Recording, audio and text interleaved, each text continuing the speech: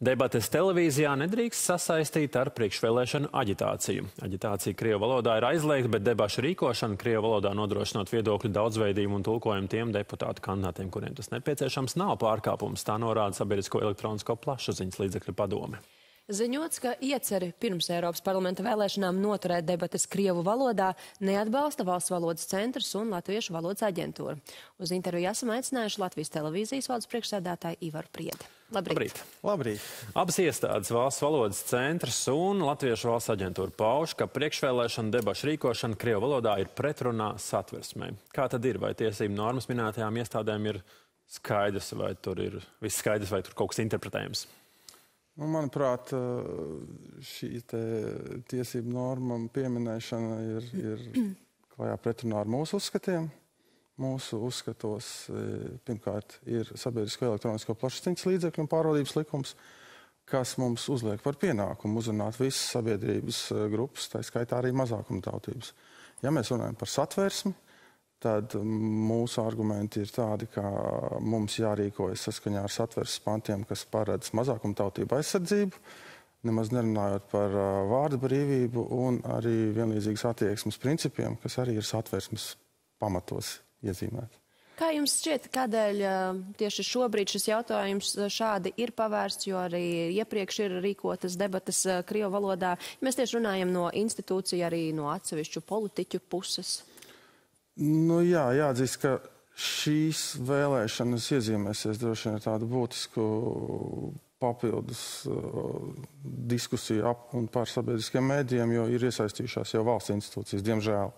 Iepriekš mums bija jārēķinās ar politisko spēku, kādām privātpersonām, viņu izpausmēm dažādos uh, komentāros, tad nu, tagad ir pienācis brīdis arī valsts institūcijām. Uh, Kādēļ? Man liekas, ka par pamatu ir jau mēdīju telpā plaši diskutētais valsts drošības koncepcijas jautājums. Nu, acīm redzot, šajā sakarā ir arī nu, šīm institūcijām nobriedus laiks izteikties un, un, un paust savu viedokli, kas manā gadījumā šķiet diezgan dīvains.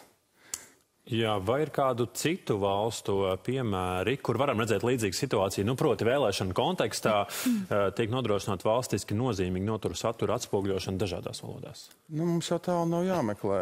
Mēs varam piesaukt Igaunijas piemēru, mums uh, ir jāpiesauc arī Somijas piemērs, kur tur sabiedriskie mēdīji tieši uh, motivējot savu rīcību ar iespējami plašāku sabiedrības uzrunāšanu, uh, veicinot maksimālu informētību par vēlēšanu partiju un deputātu kandidātu piedāvājumiem, arī nodrošinās motivētu izvēli vēlēšanās, kas ir pamatu uzdevums, ja mēs runājam par brīvām, demokrātiskām vēlēšanām nu, Somijā, Latvijā vai jebkur citur.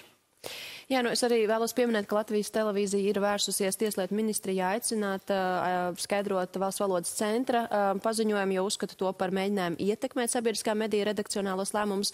Uh, kādu jūs sagaidāt un varbūt arī kādu paredzat tālāko jautājumu virzību?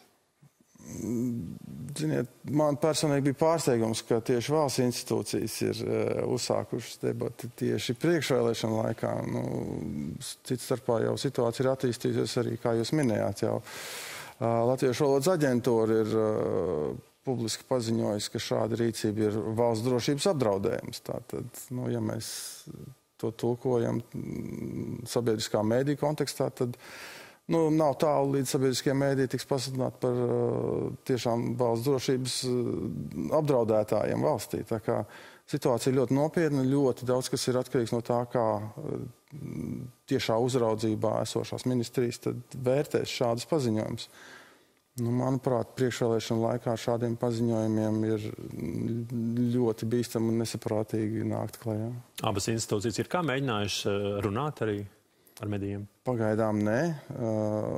Mēs arī griezīsimies ar vēstuli skaidrot izglītības ministrijai, Latviešu valodas aģentūras publisko paziņojumu.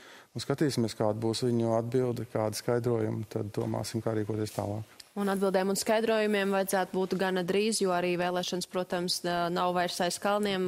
Tātad debates vēl ātrāk? Nu, acīm redzot, jā, nu, debats tāpat notiks. Tas ir mūsu uzdevums un pienākums. Šajā ziņā es domāju, ka nekāda izmaiņa nebūs. Svarīgi ir saprast, kāpēc tieši priekšvēlēšana laikā nāk šādi dīvaini paziņojumi pie tam no jau divām institūcijām.